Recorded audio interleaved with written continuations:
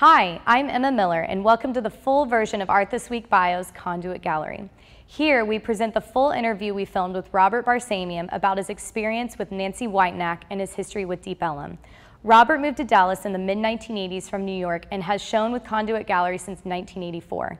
We spoke with Robert to give a perspective of what the 80s were like in Deep Ellum and what it has been like to work with Nancy over the past 30 years. Now for our interview with Robert.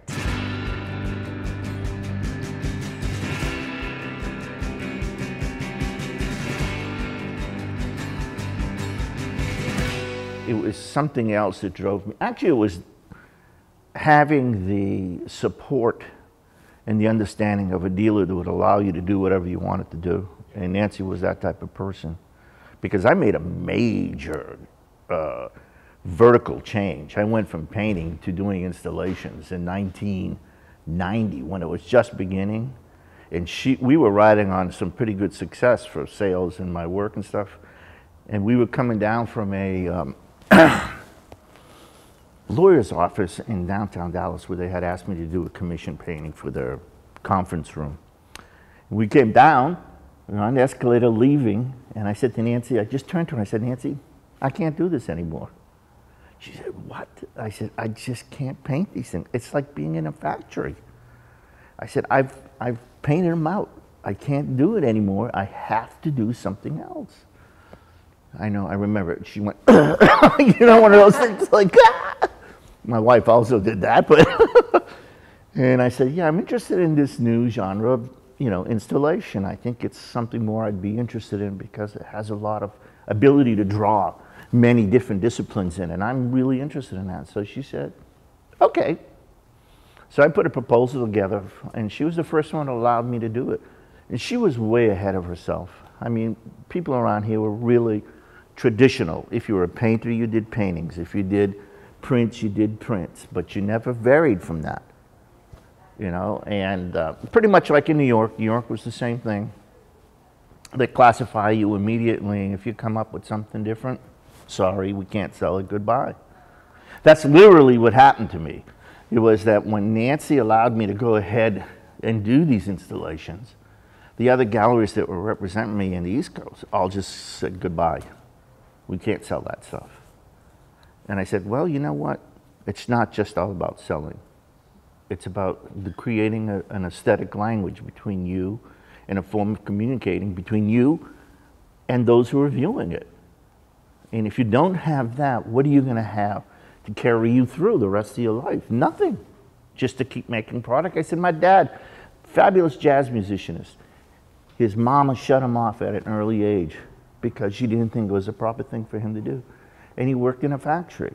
My dad worked in a factory for like 50 years. I said, what's the difference between myself making the same image over and over again and my dad working in a factory doing the same thing over and over again? Nothing. It's exactly the same thing. So I said, I, I can't do that. And I was willing to give that lucrative income to be able to experiment with my work. And that's been my philosophy. And like I said, one of the things that's really important is to have somebody behind you that allows you the venue. Because then you have a goal to shoot for as well as an, uh, an aesthetic desire. Uh, so you moved from New York to Dallas. Yes. Why did you move and how did that change your art? Well, you know, I spent close to, at that time, 18 years in, Dallas, in New York, excuse me. And the problem was that although I had some gallery representation, the majority of my time was trying to exist there. And I didn't want to do that. I wanted to make art. And I got really tired of constantly working, doing other things. I worked in the museums. I worked as a, an electrician, an alarm installer, so many different jobs that I wasn't concentrating enough in my work. The best send off was that I had just had a show at the, uh, the Bronx Museum, my first big museum show. It went real well. So I was feeling pretty good about myself, but I still needed to get out. And I deci decided with my wife that it was time for me to travel, although she had just gotten a job she loved. So I said, you know what? You can stay here in New York. I'll go back and forth to no matter where it is because I don't want to take you away from your opportunity. So that was the decision we came to. And I came to Dallas because I had a friend who was here who offered me a part time job. So I said, okay. And he had some other connections because he used to be a CEO of a bank in Texas at the time. So he said, you know, we'll help you find a place. Well, because of the recognition level I was having from the Bronx show, uh, some people were willing to take a, a risk. And I ended up in probably one of the most unique situations. Yes, I had this opportunity to move into the Crescent, and they allowed me to live there up in this mansard roof. And I had this fabulous studio that looked out over uh, on clear days. You could see almost you could see out to Fort Worth. It was amazing. Of course, this is back in '84, so at that time there wasn't all that buildup that's there now. So I, I was really fortunate. Very lucky. Uh, the most interesting part was how I connected to Nancy, and that was very interesting because I first came down with my wife in '84 because my friend was getting married and I had not been to Dallas before. And my wife said, why don't you bring some of your stuff down see if anybody's interested? And I said, oh, okay, I'm not really good that way in selling my goods. So I said, okay. And I remember going down Elm Street and I saw Nancy's space and I thought, hmm, this is really nice. I walked in and looked around and walked back out. And I didn't take my stuff in with me. And I remember she, there was a parking lot next to her building, which was located next to a photography studio. And I sat on this little railing there with my wife, and I kept saying, I don't know, should I go in there? Shouldn't I go in there? She's saying, why don't you just go in? I'm saying, I, I, I, I don't know if I can do this. So I said, okay, what have I got to lose? I'm leaving and going back to New York anyway, so it doesn't matter. So I walked in and I showed my stuff to Nancy, and she says, yeah, I'd like to show you work. And I said, okay. She said, I'd like to take a trial first. I'm having a group show coming up. I'd like to put your stuff in the group show. So she had a couple of paintings, and again, to my blessings, I both pieces sold. And so after that, it was just a, a development of our relationship and my work. Um, we got to a point where uh, that momentous day came when I had told her that I was going to change, that this no longer was going to be the face of my work, and that I was going to start working on these installations and not only were there installations, but they were politically oriented, dealing with subject matter that is about the Armenian genocide, which is my background as an Armenian, therefore an unresolved history event, which might cause problems. And she said, that's okay, do it. Let me see what it is. So I remember in 1990, we had the very first show, the first installation. Uh, I because of my uh, relationship with a lot of people in the political Armenian field, a lot of people came from different parts of the country, New York and stuff like that. A good friend of mine, Peter Balakian, who's an author uh, and a political activist. Um, the the local Orthodox priest came, a whole bunch of people came, people from the Armenian Benevolent General uh, uh, Association came, and they made an event out of it. It got on TV and all this stuff. And to me, all I was interested in was opening this new brand of work, this new style of expression. The very first day, the day the, the, the, show opens, there's a Turkish guy out there uh, uh, picketing the show and handing out flyers. It was so interesting. I said I knew this kind of stuff was going to happen because of the un- unresolved issue. And so that kind of followed me for a long time. But Nancy was still willing to handle the work. Uh, and it's followed me forever, ever since then. For the 20 years, I was deeply involved in, in that expression.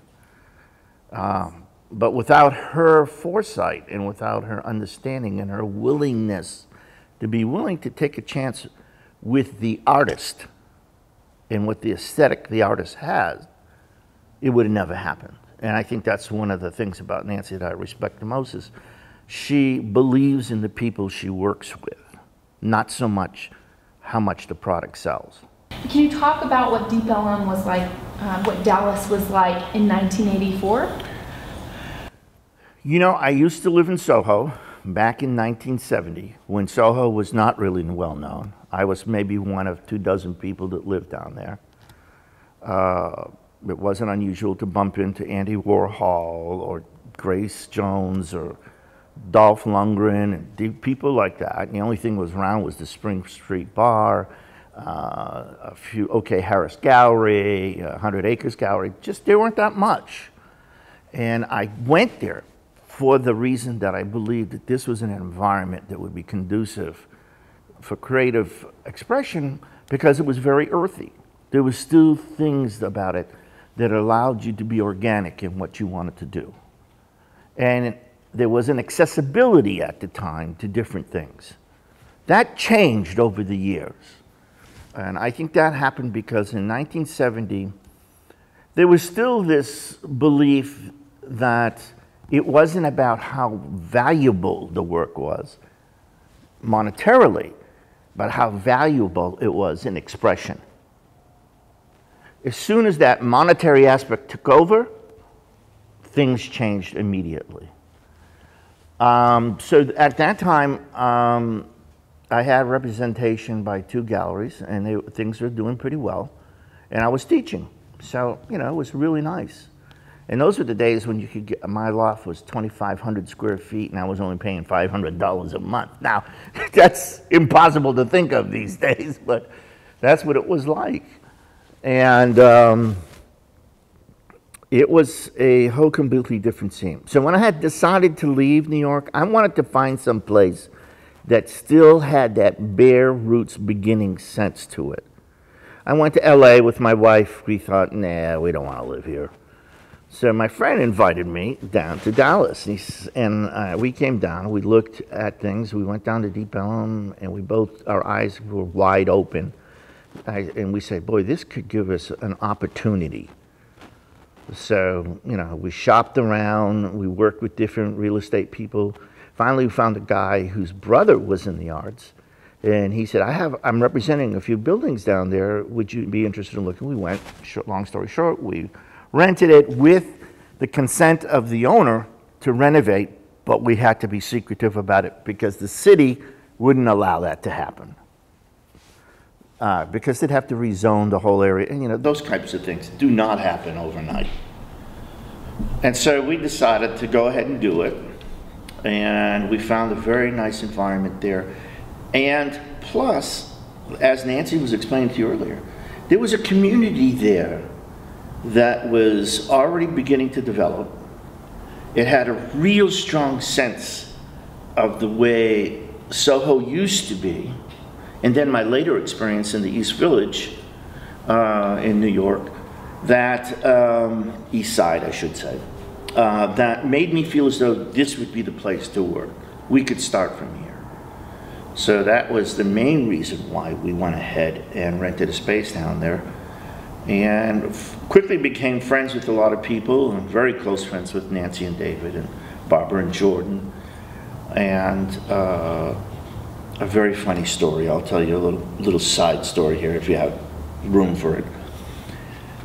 I used to hate what they did to the environment. They used to put up posters all over the place.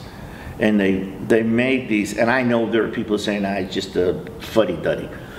But, you know, you get up on the week uh, on a Sunday, uh, a Sunday or a Monday, and you'd find beer bottles everywhere. You'd find it was a mess. So I took it upon myself. I got a big old trash can with wheels on it, and I went up and down Elm Street and cleaned the posters off, threw the trash away, and everything.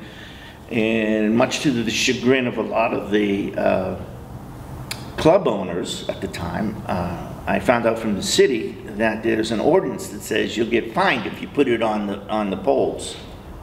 So I send them all letters telling them they were not happy with me at all. And I started a crime watch down there and started working with the police department. And uh, finally, somebody coined that I was the mayor of Deep Ellum. And I used to go up and down the street and collect garbage and stuff. I'm not saying that it was popular with everybody, but you know, it was my thing at the time. What has Conduit meant to you over the years?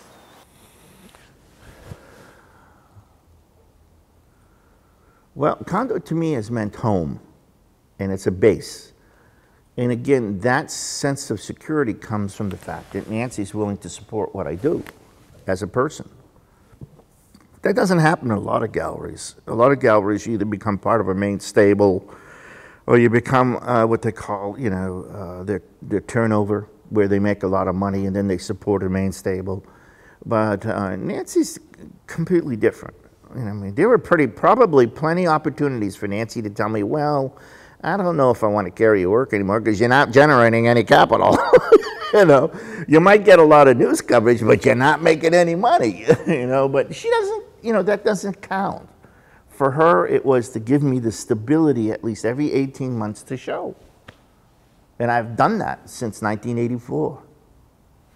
I haven't skipped a beat with her, you know, and it's, and it's always a pleasure to know that that one outlet is there for me. Not that if it wasn't there that I wouldn't do the work. It's just that it's just an opportunity for me then to communicate with people. Because if unless I get response, and not from the written word and not from uh, some critic or historian, unless I get response from people, the people who are viewing, I don't have any, I don't know that I'm doing anything. I need to have the input from people, whether it's negative or positive. I don't really care long as they respond to the work, because then I know I'm reaching them. Because to elicit any of those responses means you're communicating. And in that case, you know, it's always been the opportunity for me. And it's always great because, and the one thing I always admire about Conduit and Nancy is, again, she is, she sees things into the future, much like my wife in her business, and she's willing to take a chance, like move down here to the design district. Well, you know what? There's a lot of people who have moved down to the design district because they saw that Nancy was able to maintain. Because when she first came down here, there was not many. But now, if you walk around, there's quite a few. So, and this, you know, the same kind of initiative that she had when she moved into Deep Ellum. And for me, one of the things, again, that was very important about Nancy and Conduit is that Nancy came from an inspiration that came from within, and she did what she did based on that inspiration. Not on an art education, not on a degree, but because she had a desire to be involved with these things. And that, my, I believe that kind of passion drives you more than anything else. We want to thank Robert for speaking with us. You can find more information on Conduit at conduitgallery.com. Watch for other episodes about Conduit Gallery over the next few weeks. Also, look for a link below in the show notes for the full interview with Robert. That's it for Art This Week Bios. Thanks for watching.